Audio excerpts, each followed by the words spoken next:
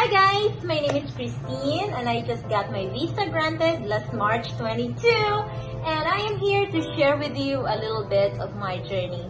So a lot of you are asking me about the process and the requirements I submitted during my application along with my GTE. And uh, yes guys, sa mga nagtatanong po, from Refuse po ako. Yung first lodgement ko is last um, November 14, 2022. And na-refuse po yung visa ko November 21. Seven days after malodge yung visa ko.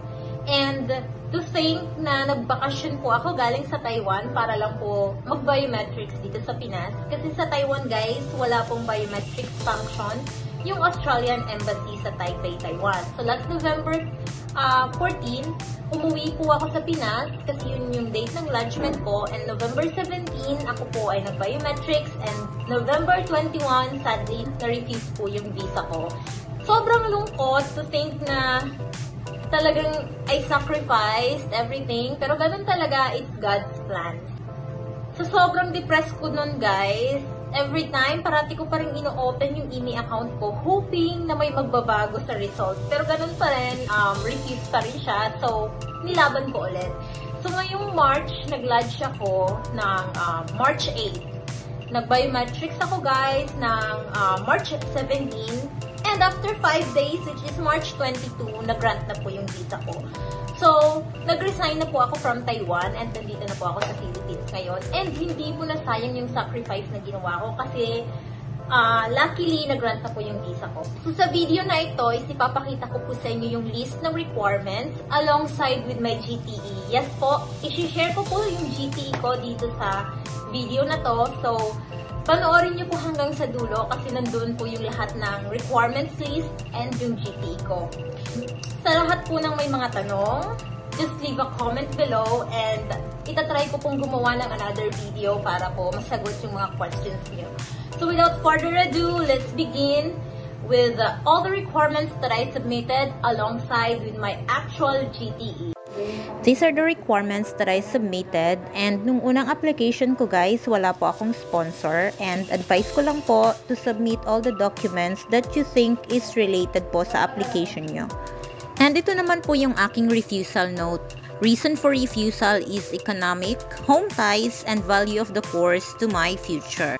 Let's now move on guys to my GTE. Sa first part ng GTE ko is my personal and economic circumstances Sinulat ko po lahat ng tungkol sa akin and sa aking background. Next is how the course connects to my background. I-explain nyo dito kung bakit importanteng yun ang kukunin yung course. And the third one is yung value of the course to my future. In here, you need to explain kung paano nyo po maa-attain yung future career goal nyo after nyong mag-aral sa Australia and it should compensate all the expenses that you will incur while you're studying there. It should be something na realistic and attainable. As much as possible, try to find a job offer na proof na meron po kayong babalikang work after nyo po mag-aral sa Australia. That's a great idea po. Next is why I choose Australia as my study destination. In here, kailangan nyo pong i-explain bakit sa Australia at hindi sa Pinas kayo mag-aaral.